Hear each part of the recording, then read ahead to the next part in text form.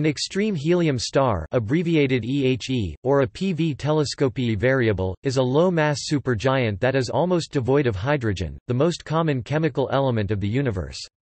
Since there are no conditions where stars devoid of hydrogen can be formed from molecular clouds, it is theorized that they are the product of the mergers of helium core and carbon-oxygen core white dwarfs.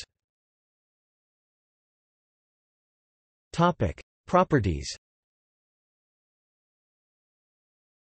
Extreme helium stars form a subgroup within the broader category of hydrogen-deficient stars. The latter includes cool carbon stars like R Coronae borealis, helium-rich spectral class O or B stars, population I Wolf-Rayet stars, AMCVN stars, white dwarfs of spectral type WC, and transition stars like PG 1159. The first known extreme helium star, HD 124448, was discovered in 1942 by Daniel M. Popper at the McDonald Observatory in Austin, USA. This star displayed no lines of hydrogen in its spectrum, but strong helium lines as well as the presence of carbon and oxygen.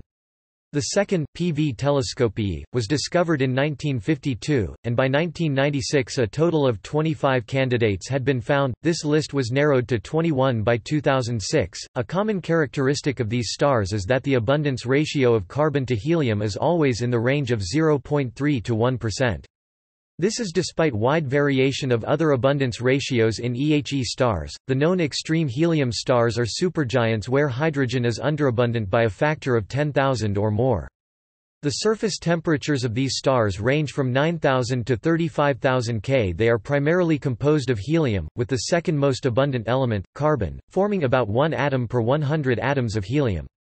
The chemical composition of these stars implies that they have undergone both hydrogen and helium burning at some stage of their evolution. Theoretical models Two possible scenarios were proposed to explain the composition of extreme helium stars. The double degenerate DD model explained the stars as forming in a binary system consisting of a smaller helium white dwarf and a more massive carbon-oxygen white dwarf.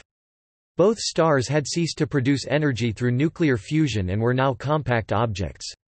The emission of gravitational radiation caused their orbit to decay until they merged.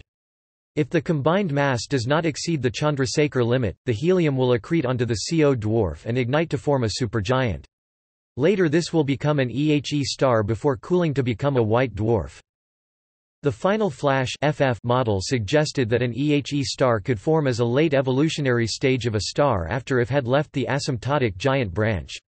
As the star is cooling to form a white dwarf, helium ignites in a shell around the core, causing the outer layers to expand rapidly. If the hydrogen in this envelope is consumed, the star becomes hydrogen deficient and it contracts to form an EHE. Examination of element abundances from seven EHE stars agreed with those predicted by the DD model. References. External links. Fox-telescope.com Extreme helium stars Astronomers find origin of extreme helium stars. C. Simon Jeffrey. Extreme helium stars, pulsation and evolution. Suspected primary source to use.